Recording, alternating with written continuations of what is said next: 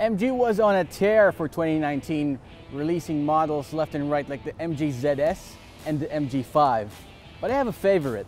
What if you wanted an MG car that's larger, more refined, and even a little bit sportier? I'm gonna show you this car and I'm gonna tell you why it's the perfect car for you and why I think it's the perfect compact car out there with one major flaw.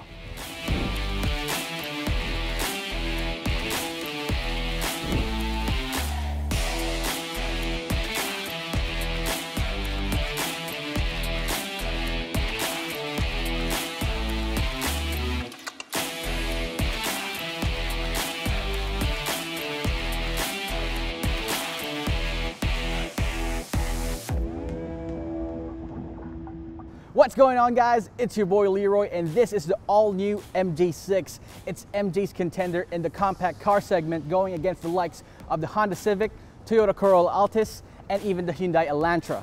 Does it have what it takes to stand against these guys? We're gonna take it for a spin, take a look at the inside and the outside, and I'm gonna tell you why this can be your next car. Starting off with the exterior of the MG6, there are a couple of things up front that I find quite interesting. First of all, this grill. It's dominated by this large MG grill in the front. What it does is that it covers this camera in the front that uh, helps you with parking. So it has parking cameras on the front and in the rear. We'll find that out later. Uh, the silver chin at the bottom adds more contrast and flair to the front end. But what ruins it for me is are these uh, side panels. Look at these, look at these side panels. These are fake vents supposed to have holes in them, but they don't. They don't go anywhere. But they accent this large carbon fiber-like material up front and these LED turn signals. Uh, I think it's kind of tacky, but you do you, MG. One thing that's really interesting about the front end is this, are these headlamps. The headlamps are these LED projector type headlamps on the top of the line trophy variant, which this MG6 is. It's got this long front end, making it even more sporty. So that's pretty much I can say everything I can say about the front end, and it's really great. The overall look of the MG6 may get some inspiration from more popular compact cars. The front end would come from a Mazda, the rear, I'll show you the rear. The rear would come from a Mercedes-Benz, but take a look at the profile. The side profile of the MG6 kind of reminds you of the BMW Grand Sport. It's a fastback. It adds more sportiness to it with the 18-inch mag wheels. One thing that breaks the monotony of the side panels are these silver linings that are uh, that trim and adorn the windows. And these uh, grab handles are adorned in silver as well. So why else would you put something that says performance in it underneath a trim with fake vents? But let's take a closer look at those wheels. There are 18 inch alloy wheels which are machined. They're 225, 45, R14, or R18, I'm sorry. You see how massive these, these wheels are? They're 18 inches. So uh, it adds sportiness, like I said, sportiness and elegance with how the MG6 moves. Heading to the rear of the MG6 doesn't look half bad. I mean, it does find inspiration from other compact cars, especially in the rear, Kind of reminds you of a Mercedes-Benz. These tail lamps, LED tail lamps for a fact, remind you of the uh, Mercedes-Benz compact cars of today. We got this large MG badge right here, but underneath you're going to feature this rear backup camera, which is helpful. This car is kind of huge. Well, huge for a compact car. Now, underneath the MG6 is more, uh, more of that tackiness that I was talking about earlier you see it has these vents as well that act like, uh, like exhaust tips, but the exhaust tips are actually underneath it. So you think this may be exhaust tips, but they're not. They're actually underneath it, and you can barely see it from the outside, but only if you look underneath. Now take a look at the interior. This is probably the best part of the MG6. You don't find this in many cars these days. It's a fastback design where the whole rear opens up like a big hatch. I mean, it's kind of similar with how the Honda Civic looks, but with the Honda Civic, just the boot opens up. But with this, even the rear windows open up to reveal this space at the back. The space at the back doesn't really hold that much uh, room in it, but if you remove this tonneau cover and fold the seats down, that's a lot of space inside.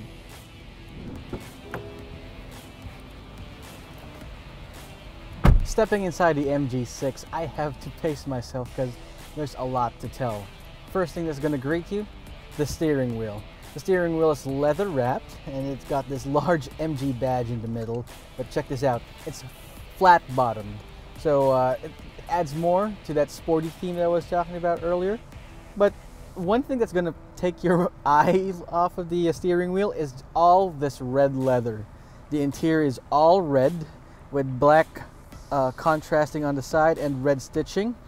The 8-inch touchscreen is interesting because it it's devoid of any physical buttons, which I personally don't like, but it has capacitive buttons, which uh, which definitely works for now. Heading over to the gauge panel, there is another TFT screen up front, shows different information about your car. Pressing the OK button on the steering wheel, there's a digital speedometer in the middle if you find it difficult to read the speedometer on this side. That's basically it for that.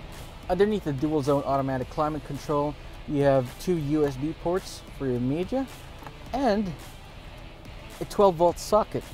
That should be enough to charge all your devices. Let's head over to the uh, one more interesting part about the interior of the car, this sunroof. Uh, it's covered right now, but you can e easily slide this open and then with a flick of a button, you get fresh air coming inside a vehicle. Now, how swanky is that? I would probably wish that this would be at the back of the car so that anyone who's partying at the back can just go, woo, hello Manila! But you can't do that here unless you want to do this, but that's not happening. Let's just close that right back out. It's kind of hot outside. You can't close that, uh, close this panel until the glass hatch is completely closed. This armrest, inside the armrest, you see? It's cold inside. It's a refrigerated uh, cubby hole. You could put all your cold drinks inside and they'll stay cold. The front seat, the front passenger seat is uh, adjustable electronically so you can slide down or go up like this and then go down. You can reach your optimum driving position by just pushing these buttons right here. And the steering wheel is adjustable for both reach and rake. So if you want to go all boy racer mode, as I'm going to do later on, you can just put the steering wheel up, put the seats down, recline, and you're doing the Honda Broline on an MG. Okay, okay, wow. The rear seats are what I call the business end of any compact car because compact cars are meant to be passenger cars so uh, it doesn't matter if the front is comfortable or not, but your passengers are basically in purgatory. But on the MG6, this is pretty swanky in the back. Hey, this is my optimum sitting position right here, but even though I'm sitting behind it, I still find myself really comfortable. Look at all the leg room right here. There's there's inches, not just inches, I think there's a whole foot right there from my knees up to the uh, driver's seat and my foot, my feet aren't scrunched up underneath the seat as well. There's a lot of leg room. In fact, this is going to be my new seating position at the back while uh, while I lounge around. There are no cup. Oh wait, there are cup holders. Check this out. That's full lounge mode. I can put my chocolate milk drink right here and just settle down. Uh, it's really a good place to be at the back. I really wish that that rear sunroof would be right here and then I can go all out, what's up Manila? But it's not. So it's up front. So sucks for me. One more thing, it's got rear louvers, rear aircon vents. I mean, how cool is that? Literally, how cool is that? I think this is gonna be my new favorite seating position here. Yep, everyone else can just, you know, grab vouch position here to the sides. I'll be more than happy to sit in the front and that shouldn't be a problem. Three people sitting abreast at the back won't have any problem seating in the MG6. They got their own headrests. And uh, hey, I think that the rear has more, uh, more, more headroom here. yeah, maybe it's just me or I don't know, but I can, my, my full frame, my full torso can actually fit in the back without having to scrunch, you know, here on the side. So I think overall the rear seats are a good place to be. Oh, one more thing. I have to mention this. This car, uh, if you're worried about passenger safety, that shouldn't be a problem. It's got everything. It's got electronic brake distribution. It's got hill start assist. It's got traction control and it's got four airbags, two for each passenger up front, the driver included, and two uh, for curtain airbags. So definitely going to be a safe thing. And that's it for the rear. Let's see how this drives.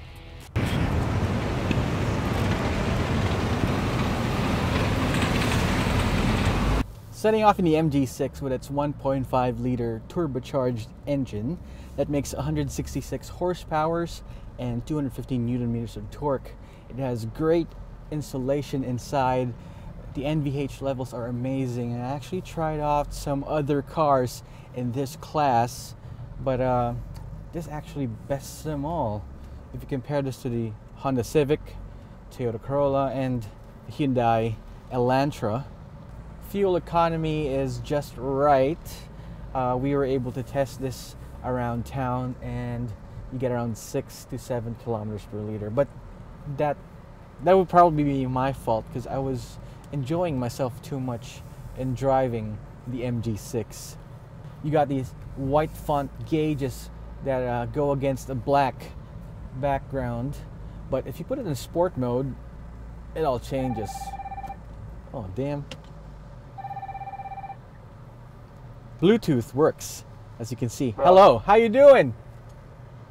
How am I doing? Yes, so that's our director, and it seems like the Bluetooth works real fine. All in all, the drive is how would I describe it? It's sublime. You can can barely hear anything from the outside. You're definitely locked out or locked in from the outside world thanks to the insul- sound insulation, the NVH. You can barely hear the engine note, and it's great. I would definitely recommend this car to anyone who's looking for some sort of luxury, some sort of luxury, sportiness, and refinement in their next car purchase, and who wants to be different. For those who want to be different, go for the MG6. I'm sure you won't be disappointed.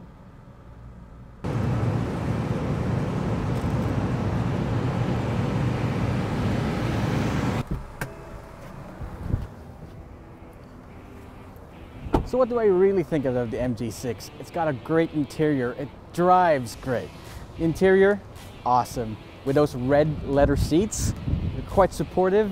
And that power delivery, oh my goodness, that seven speed dual clutch transmission makes use of all that power quite efficiently. And even it does have six to seven kilometers per liter, it's fine.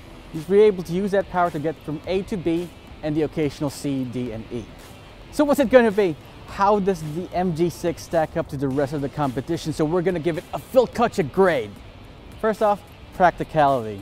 Well, it's got a lot of space in the inside. As you've noticed, even if I was sitting behind myself, I had a lot of leg room. The only problem is that with the rear sloping that way because of it's a fastback, headroom is quite limited for my five and ten and a half frame.